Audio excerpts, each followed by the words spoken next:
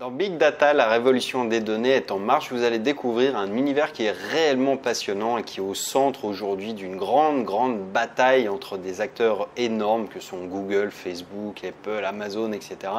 qui compilent des euh, milliards euh, de, de lignes d'entrée, d'enregistrement de tout ce qui se passe sur Internet, des interactions que les gens ont d'une manière générale, mais aussi d'une manière ciblée. Et, et, on peut ensuite, eh bien, grâce à ça, arriver à des prédictions assez fines et en fait, tout ça, c'est ce qu'on appelle le big data en réalité, qui est une analyse statistique alors de, données qui sont pas forcément euh, évidentes à relier les unes entre elles au départ, mais qui permettent par exemple eh bien, de corréler la météo avec les, les retards des, euh, des, avions, par exemple, pour avoir quelque chose qui permet d'avoir une prédiction en réalité euh, assez fine de ce qui va arriver. C'est vrai qu'on pourrait prévoir par exemple la criminalité parce que eh bien, il y a des statistiques statistiques qui permettent de, de l'anticiper. On pourra également prévoir toutes les problématiques de santé, à savoir que aujourd'hui, avec un simple smartphone, on est capable bien de recueillir des données qui sont le rythme cardiaque. On peut, beaucoup de gens utilisent des bracelets également d'activité qui permettent de mesurer en fait leur activité sportive,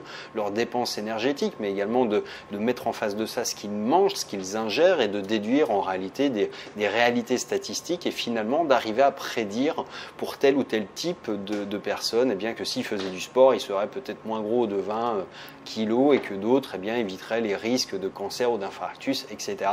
Ce qui compte, c'est d'avoir un ensemble de données, alors qui prises,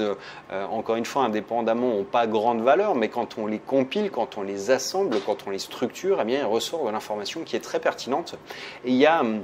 autour de ça tout un, un business qui va se développer, euh, qui est par exemple, on commence à le voir émerger, ça va être, euh, eh bien, les, les, assurances vont être adaptées, adaptées à votre façon de conduire, adaptées à votre régime alimentaire, adaptées à beaucoup plus de critères que simplement généralistes comme elles le sont aujourd'hui. D'ailleurs, je crois que c'est arrivé en France et que, eh bien, avec un tracker, il sera possible d'avoir, voilà, euh, à partir de maintenant, une ristourne sur son assurance. Alors, ça va commencer par une ristourne et puis ça sera une surprise pour ceux qui, qui auront un mauvais comportement euh, vis-à-vis de ce que le tracker va, faire ressortir.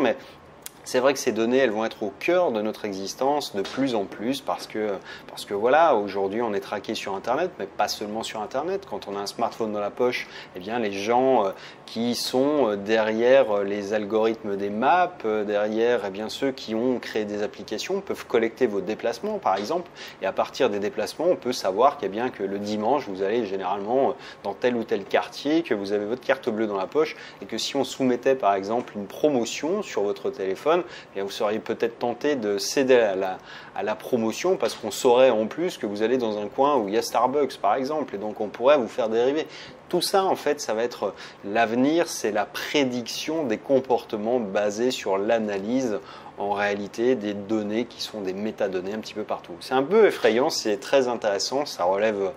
dans l'esprit collectif de la science-fiction, mais c'est déjà là et je vous engage vivement à lire mon résumé en cliquant sur le lien qui vient d'apparaître dans la vidéo si vous êtes sur YouTube ou bien dans le statut ou la description si vous êtes sur Facebook ou ailleurs et je vous dis à bientôt dans un prochain livre. Ciao